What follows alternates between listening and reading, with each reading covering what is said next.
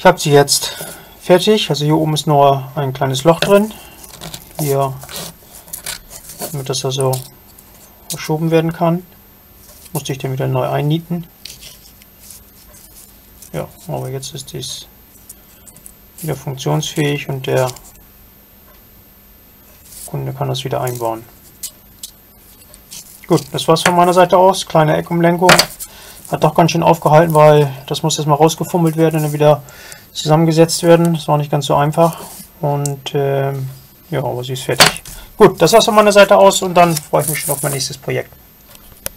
Hallo, herzlich willkommen in meiner Werkstatt Schlosserei Oldorf. Ich habe hier eine Eckumlenkung, eine von äh, Geze. Da ist auch noch eine Nummer drauf, 06153 8 und nee, 3B und dann ein R. Besonderheit dabei ist, die hat hier auf der einen Seite nur ein Loch, also die ist hier weggebrochen. Und da weiß ich noch gar nicht, wie ich das machen soll. Auf dieser Seite hat sie praktisch einen Pin. Okay. Komplizierter Fall. So erstmal auf Anhieb, aber ich denke mal, das sollte ich hinkriegen. Ansonsten löse ich das Problem gleich erst.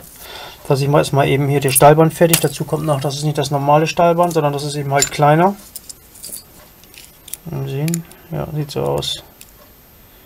Gut, egal. Ich mache mich mal eben ran und versuche das Ganze mal wieder in Stand zu setzen, damit der Kunde wieder sein Fenster schließen kann. Ja, wie gesagt, also das ist eine ganz kleine. Ich mache nochmal hier das Maß von der, nehme ich nochmal eben. Ähm, 74 und hier haben wir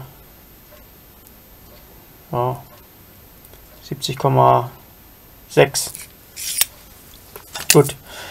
Ja, ich versuche das mal fertig zu machen und los geht's.